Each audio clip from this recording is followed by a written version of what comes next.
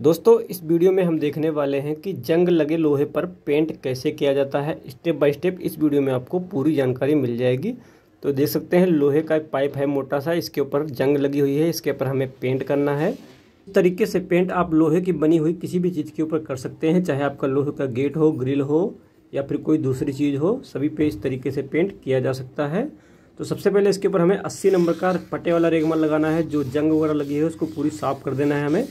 इस तरीके से रगड़ के, अच्छी तरह से रगड़ना है ताकि जंग पूरा निकल जाए। ये देखिए, वैसे लोहा नवा है, ये बारिश की वजह से इसमें जंग लगी हुई है थोड़ी सी।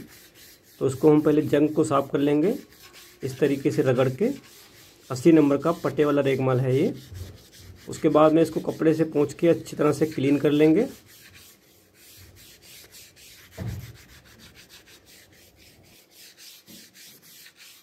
ये देखिए, इस तरीके से कपड़ा मार के इसको अच्छी तरह से साफ़ कर लेना है हमें।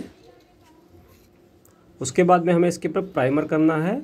प्राइमर में आप जिंक्रोमेट प्राइमर या फिर रेड ऑक्साइड प्राइमर कर सकते हैं। ये देखिए, बर्जर कंपनी का हमारे पास जिंक्रोमेट प्राइमर है। ये येलो ग्रीन प्राइमर है। ये ऊपर उसके वार्निश है, बाकी नीचे प्राइमर जमा हुआ है। इसको हम अच्छी तरह से पहले मिला लेंगे एक में। ये देखिए, नीचे सारा माल जमा हुआ है। तो इसको अच्छी तरह से मिलाना है हमें पहले। आप कंपनी कोई भी यूज़ कर सकते हैं। सभी कंपनियों में प्राइमर उपलब्ध है। जिंक्रोमेट या फिर रेड ऑक्साइड प्राइमर होना चाहिए। अगर आप ऑयल बेस पेंट करना चाहते हैं तो अगर आप डीको या फिर प्यू पेंट करना चाहते हैं तो उसके लिए आपको डीको प्राइमर या फिर प्यू प्राइमर यूज़ करना होगा इसकी जगह पर। ये देखिए, ये तारपीन का तेल है। इसको पतला करने के लिए इसी तेल का यूज़ करते हैं। फिर उसके बाद में हमें अप्लाई करना है प्राइमर को।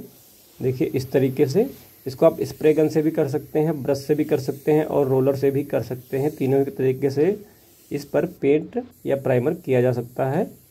हम स्प्रे गन का प्रयोग कर रहे हैं, बाकी आप अपने हिसाब से इसको कर सकते हैं। इसका एक कोट ही काफ़ी होता है, बाकी आप चाहें तो डबल कोट मार सकते हैं इसके ऊपर।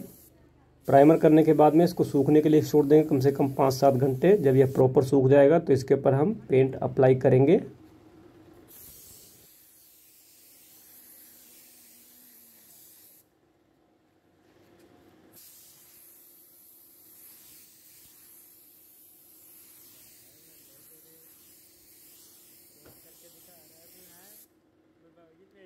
तो देखिए प्राइमर कर दिया है हमने। अभी ये साइन कर रहा है क्योंकि गीला है, जब ये सूख जाएगा तो इसमें साइनिंग बिल्कुल ख़त्म हो जाएगी।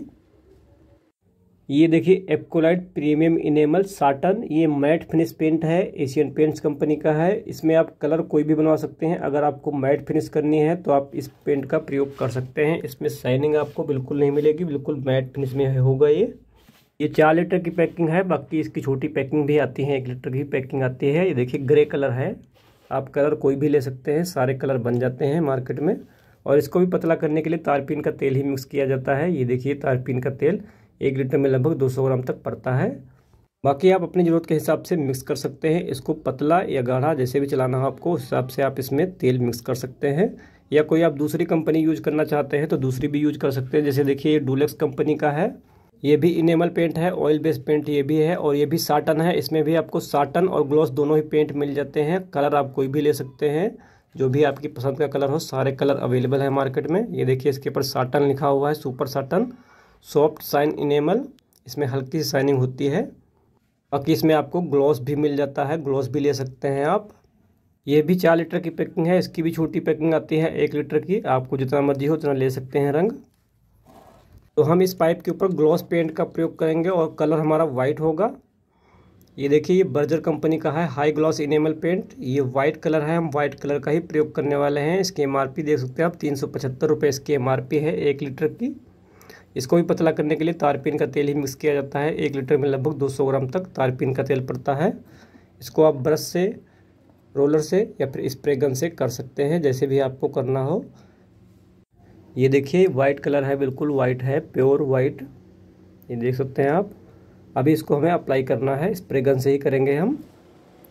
यूज़ करने से पहले इसको कपड़े से छान के ही गन में भरना है आपको, ताकि कचरा वगैरह गन के अंदर ना जाए। और फिर इस तरीके से इसके ऊपर अप्लाई करना है। इसके भी आप एक या दो कोट अप्लाई कर सकते हैं। वैसे दो कोट लगाएँगे तो ज़्यादा बढ़िया है, लेकिन अगर आपको एक कोट ही मानना है तो थोड़ा सा आपको ध्यान से मानना होगा कि कहीं पर छूटे ना। डबल कोट लगाने के लिए जब ये सूख जाता है, आठ दस घंटे में, उसके बाद में इसकी हल्की सैंडिंग करके इसके ऊपर डबल कोट लगाया जा सकता है इसी तरीके से। और ये पेंट थोड़ा सा उड़ता ज़्यादा है, क्योंकि ये ऑयल बेस्ड पेंट है तो ज़्यादा उड़ता है थोड़ा सा अगर आप स्प्रे गन से करते हैं तो मुँह के ऊपर आपको कपड़ा बांधना ज़रूरी है, क्योंकि उड़ता है तो मुँह के अंदर जा सकता है। इसलिए सेफ्टी का थोड़ा सा ध्यान रखें इस पेंट को स्प्रे गन से करने के लिए।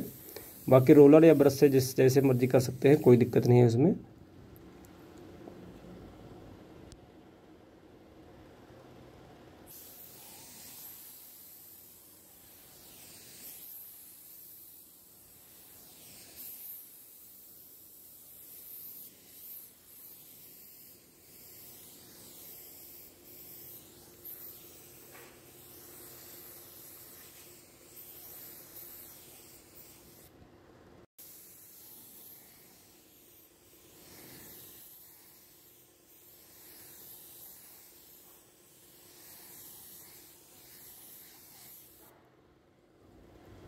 तो अभी देखिए हमने पूरा फिनिश कर लिया है इसको। एक कोड ही मारा है हमने इसके ऊपर।